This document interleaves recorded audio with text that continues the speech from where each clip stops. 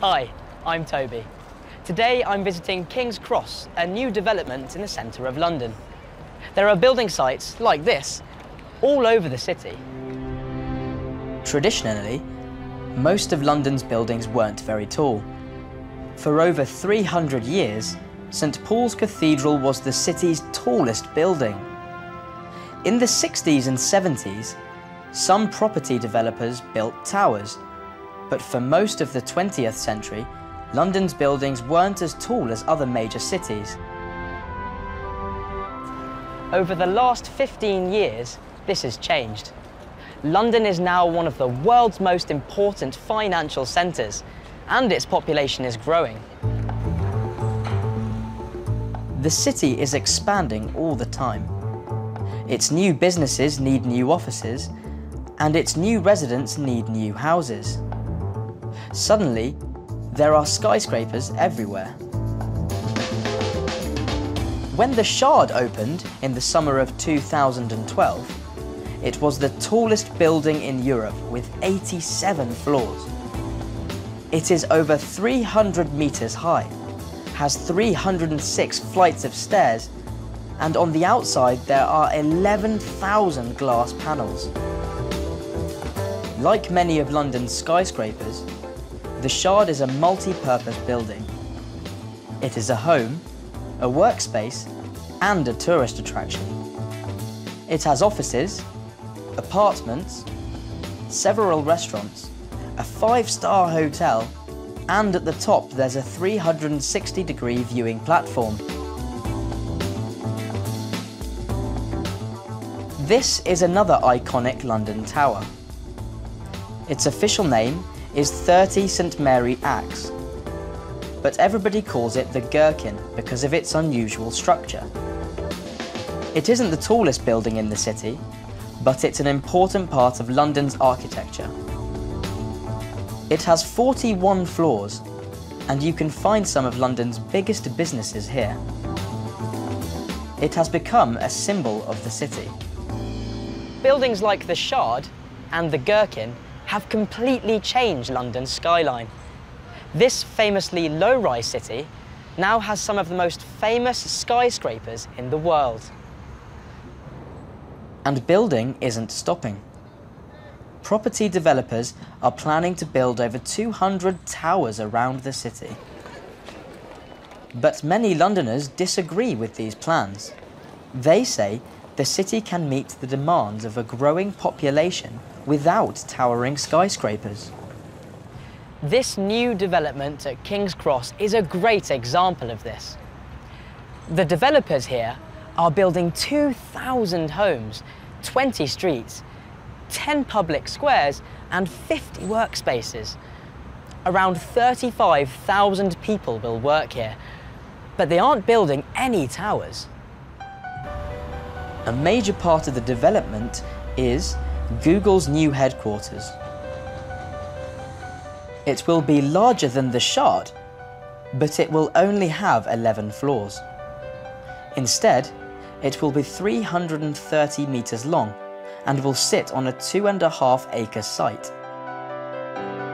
People are still arguing over London's development.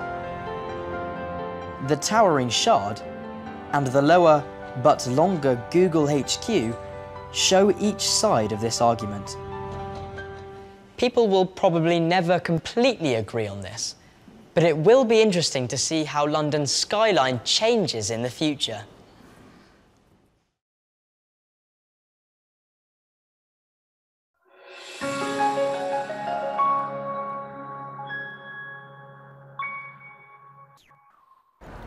Hi, I'm Toby.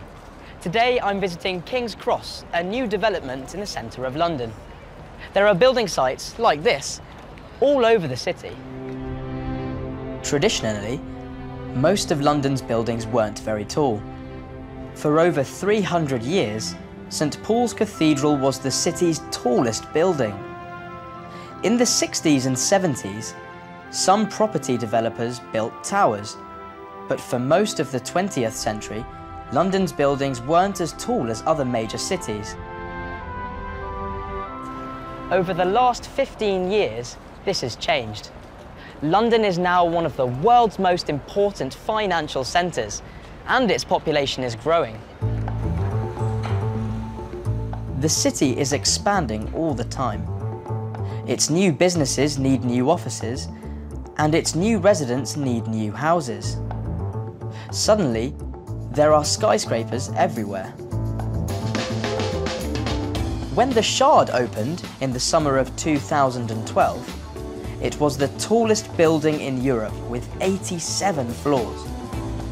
It is over 300 metres high, has 306 flights of stairs, and on the outside there are 11,000 glass panels.